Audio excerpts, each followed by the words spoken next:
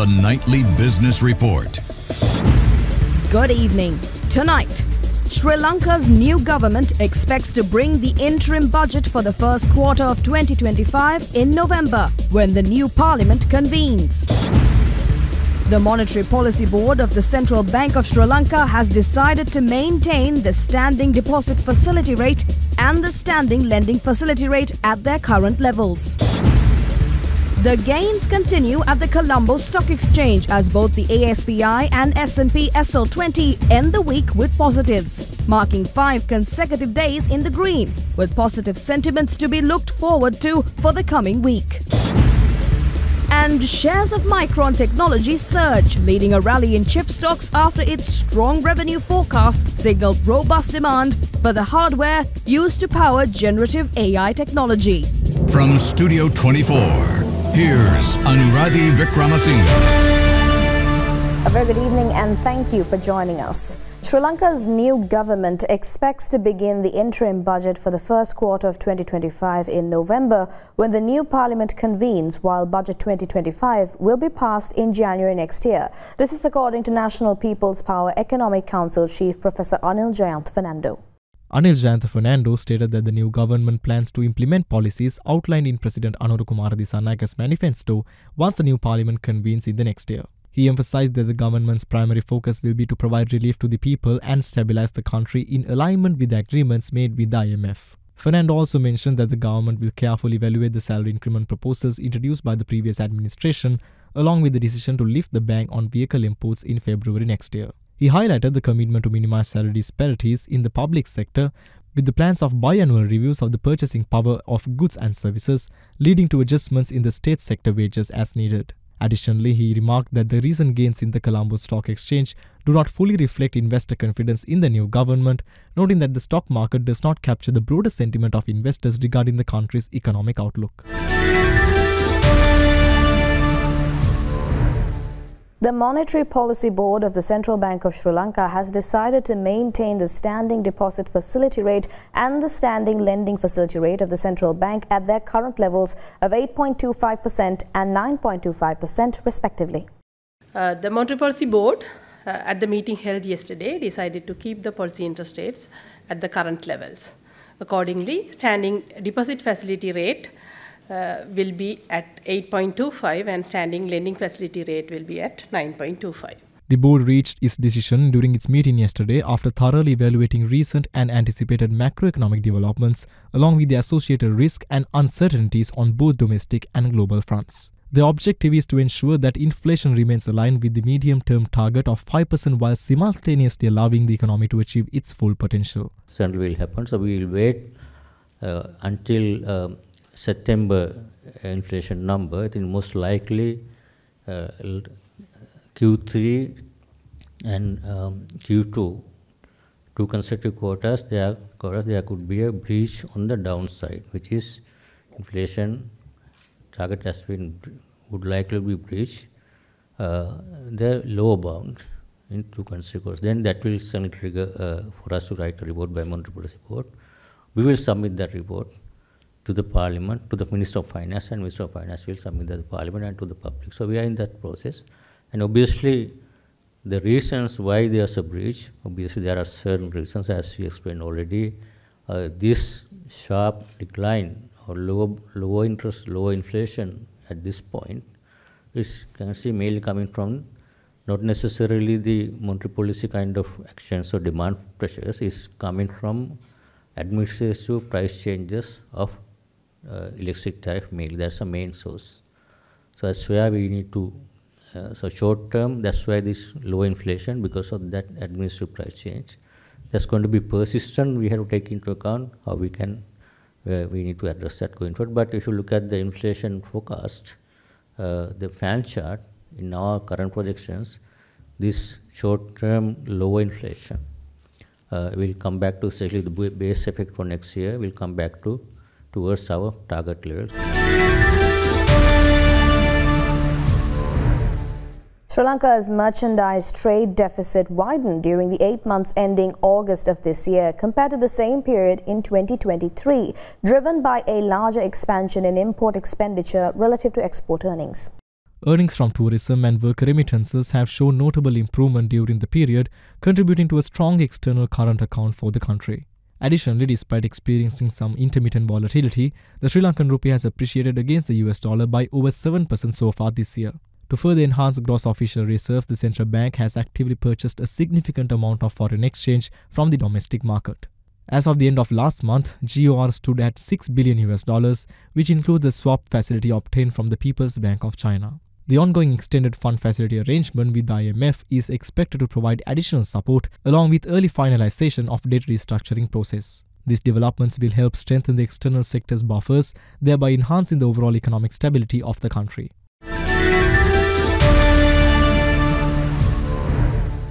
Sri Lanka has reintroduced a $20 double entry visa for South Asian visitors as well as a double entry visa for travelers from other countries. This restoration follows the new administration's compliance with a court order to reinstate the previous e-visa system. Sri Lanka has implemented a $75 fee for a single entry visa following an agreement with the VFS Global and IVS GBS which includes an additional $18.50 fee for the private consortium and an additional undisclosed fee of $5. Subsequently, the tourist visa fee was reduced to $50 but is limited to single entry. The newly reinstated double entry visa allows tourists to visit Sri Lanka twice within a six month period, providing the opportunity to use the island as a hub for exploring other countries given its advantageous geographical location. However, analysts note that Sri Lankan travel agents have not fully capitalized on this facility, unlike their counterparts in countries like Vietnam, which actively promote Indo-China tours. The courts also ordered the arrest of a Controller General of the Immigration for failing to comply with court's directive. Let's take a short commercial break. Market update on the other side. This is the Nightly Business Report.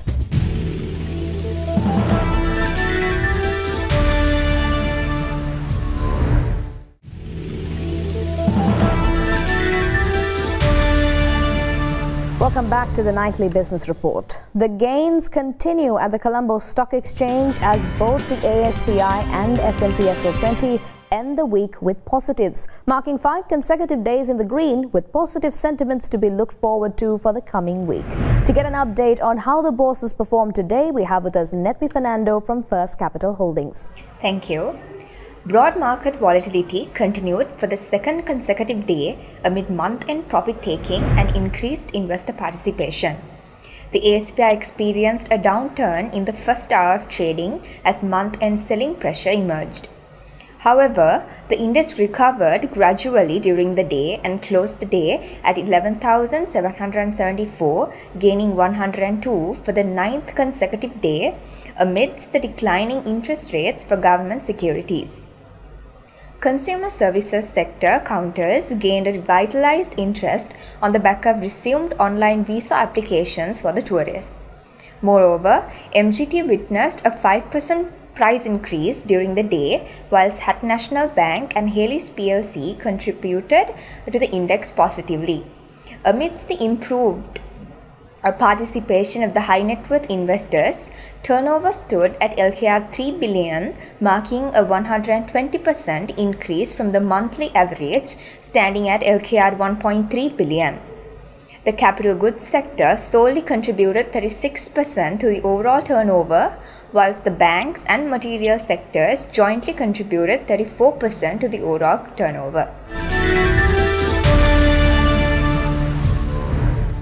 Well, as the week wraps up, what are the specifics of market performance over the past few days? For an analysis on the performance throughout the week, we have Vinodini Rajapupati joining us from First Capital Holdings. Thank you. The Colombo Bourse commenced the week on a positive note, driven by renewed investor confidence following the presidential election. This stability was further reinforced by a key agreement with the ad hoc bondholder group, restoring market confidence and triggering strong upward momentum.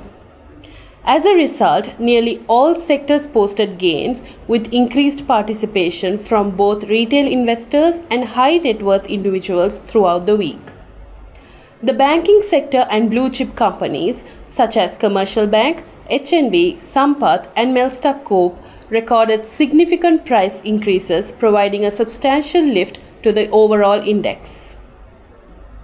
Although some volatility surfaced towards the end of the week, the index maintains its upward momentum, closing its ninth consecutive session on a strong note at 11,774. This reflects a 7.4% increase over the last week's close of 10,967, reaching over a two month high. Renewed interest in the consumer services sector also emerged, driven by the resumption of online visa applications for tourists. Additionally, average daily market turnover surged by 140% over the week to 2.8 billion rupees, with notable contributions from the banking, capital goods, and food and beverage and tobacco sectors. Foreign investors also maintained a net selling position during the week, generating a net outflow of 555.9 million rupees. Gold and silver prices retreated today from record highs but were positioned for weekly gains on growing anticipation of another bumper U.S. interest rate cut this year as markets awaited a key inflation report for additional guidance. Spot gold was down at 0.2% at $2,666.81 per ounce, holding below previous session's record peak of $2,685.42. The Federal Reserve's larger than usual half percent percentage point reduction last week ignited a rally in gold, which hit consecutive record highs and has gained about 1.8% so far this week. Lower interest rates reduce the opportunity cost of holding bullion, which is also viewed as a safe asset during economic and political turmoil. Market focus is now on the core personal consumption expenditures price index data, the Fed's preferred inflation gauge, due later in the day.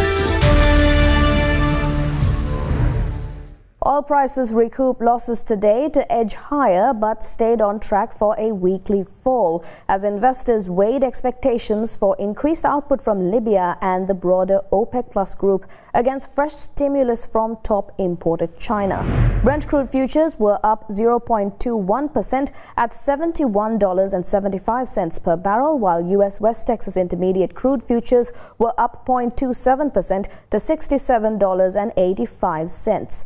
On a weekly basis, Brent crude has shed about 3.7%, while WTI was on track to slide nearly 5.7%. Separately, the Organization of Petroleum Exporting Countries and its allies, a group known as OPEC Plus, are currently cutting oil output by a total of 5.86 million BPD, but plans to reverse 180,000 BPD of those cuts in December. The Sri Lankan rupee has appreciated further against the US dollar today compared to yesterday, according to the Central Bank of Sri Lanka. Accordingly, the buying rate of the US dollar has reduced from 295 rupees and 80 cents to 295 rupees and 30 cents, and the selling rate from 304 rupees and 91 cents to 304 rupees and 33 cents. The rupee has also largely depreciated against a basket of foreign currencies, while it has significantly appreciated appreciated against Gulf currencies. Let's take a look now at how the rupee performed against other global currencies.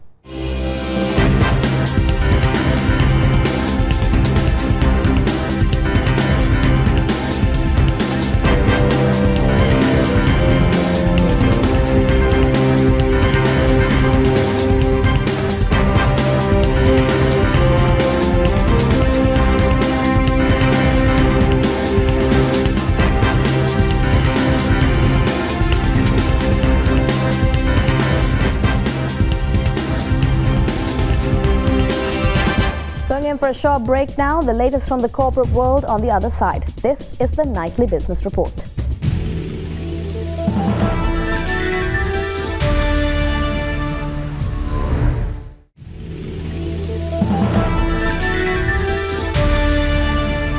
Welcome back to the Nightly Business Report. Sri Lankan Airlines has once again been recognized as the leading international airline in South Asia under the Visitors' Choice Awards category at the South Asian Travel Awards 2024, marking its second consecutive win in this prestigious category. This accolade reinforces Sri Lankan Airlines' status as a leading powerhouse in South Asia's aviation industry, backed by an unparalleled legacy of service and hospitality. With a comprehensive flight schedule serving 85% of the region, the airline continues to set a high standard. The SATA Awards, held annually, celebrate the best in South Asia's hospitality and travel sectors and are widely recognized as some of the region's most prestigious accolades. Endorsed by over 18 regional tourism organizations, winners are chosen based on both industry professionals and passengers, making the awards a true reflection of excellence and customer satisfaction. Sri Lankan Airlines is dedicated to providing an authentically Sri Lankan experience, highlighted by the warmth and hospitality for which the country is known. This commitment is evident in every award the airline has received for service, including its continuous 4-star rating in the major airline category at the Airline Passenger Experience Association Awards, which is based on verified passenger feedback.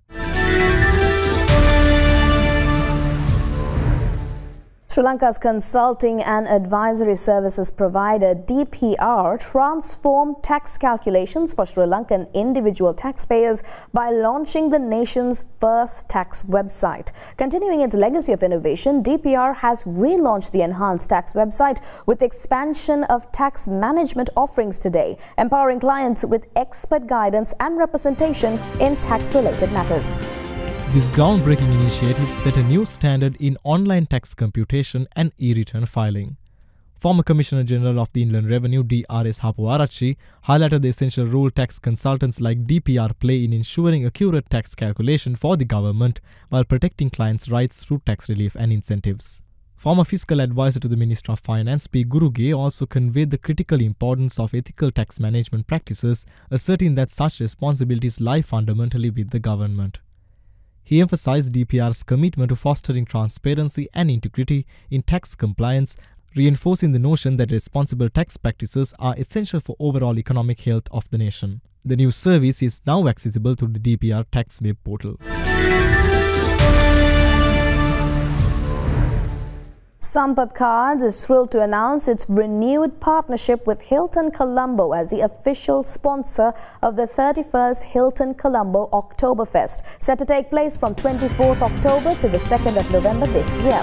This marks the second consecutive year of collaboration, underscoring Sampath Cards' commitment to providing cardholders with exclusive benefits and access to some of Sri Lanka's most prestigious cultural events. Hilton Colombo's Oktoberfest has established itself as the premier premier German cultural celebration in Sri Lanka.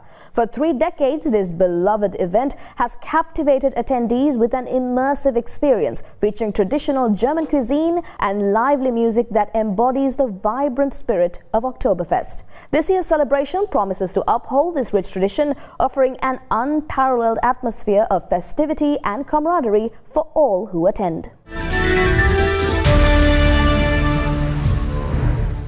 Sri Lanka's publicly listed Brown and Company PLC has announced the acquisition of Icen Lanka Limited for 1.4 billion rupees. This strategic move marks a significant expansion for Brown and Company, reflecting its commitment to growth and diversification within the market. The acquisition is expected to gently enhance Brown and Company PLC's portfolio and solidify its standing in the industry, paving the way for the future growth and opportunities. Brown and Company successfully completed the acquisition of 100% shareholding in Icen Lanka Private Limited from its former shareholders for a total consideration of 1.4 billion rupees as detailed in a recent stock exchange filing. This strategic move is set to streamline the warehouse operations of Brown's group, allowing for a more efficient logistics framework. By integrating Icen Lanka's capabilities, Brown and Company aims to significantly improve operational efficiency across its subsidiaries, thereby expanding their manufacturing and warehousing capacity. This enhancement is expected to foster better resource management and contribute to the overall growth of the organization. However, in the wake of this positive development, Brown and Company shares closed at 110 rupees, reflecting the complexities of the market responses to corporate acquisitions and ongoing industry dynamics.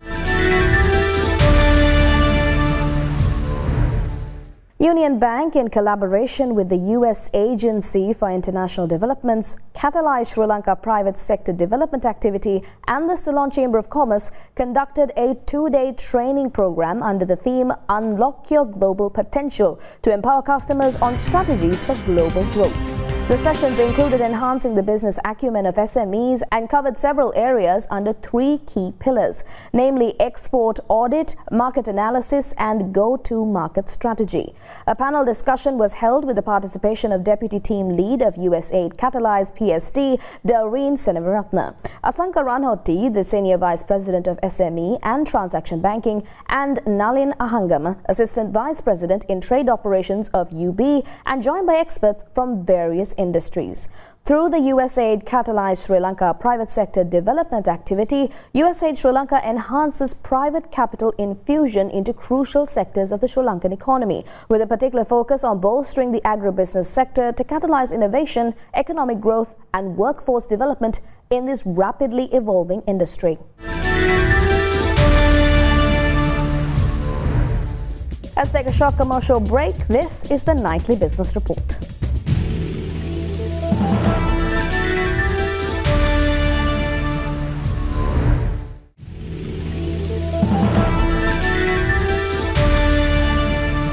Welcome back to the Nightly Business Report. Stocks in Asia advanced today, led by gains in Hong Kong and other Chinese markets, fueled by China's moves to rev up its economy.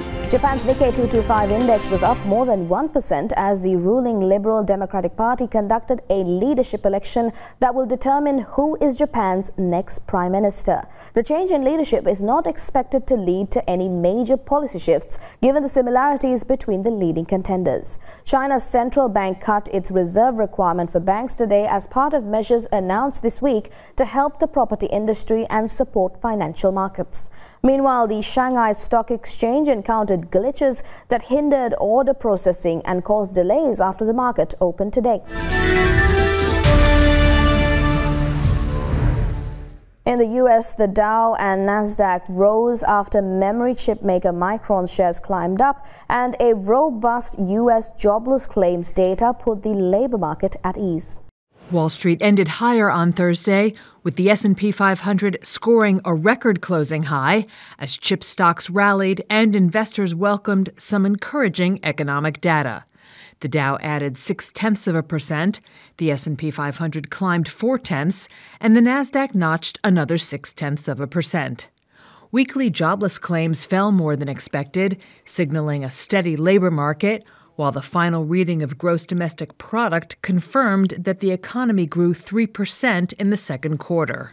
That eased investors' fears that the Federal Reserve's supersized rate cut earlier this month may have been prompted by an unraveling economy. Meanwhile, Chinese leaders, just days after unveiling a stimulus plan, pledged to deploy necessary fiscal spending to spur the world's second largest economy. That gave metal prices another boost and lifted shares of copper miners such as Freeport McMoran, as well as lithium miners Albemarle and Arcadium. U.S. listed shares of Chinese firms such as Li Auto, Temu parent PDD Holdings, and Alibaba all saw healthy gains. Shares of Wells Fargo added more than 5% after a report showed the banking giant had sent the Fed a review for lifting asset cap restrictions. And shares of Southwest Airlines gained nearly 5.5% after the carrier raised its third quarter revenue forecast. Shares of Micron Technology surged, leading a rally in chip stocks after its strong revenue forecast signaled robust demand for the hardware used to power generative AI technology. Shares of AI chipmaker Micron Technology surged as much as 19% on Thursday, thanks to a strong revenue forecast that signaled robust demand for its memory chips. If the stock gains hold, the company could add more than $19 billion to its market value. Micron's high bandwidth memory chips, or HBMs, are used in NVIDIA's popular AI processors. Strong pricing for HBM chips is expected to help boost gross margins, which had been pressured by expensive manufacturing costs. The company's earnings, reported after Wednesday's market close, sparked a broad chip rally Thursday, with several companies, including Nvidia, Intel, Broadcom, and AMD, all posting gains. Micron also said revenue growth for the prior quarter was its highest in a decade. And that's all we have for you tonight on the Nightly Business Report, wrapping up the week. We'll see you again on Monday with more key stories across the business globe. I'm Anuradhi Vikramasinghe. Thank you very much for watching and have a great weekend.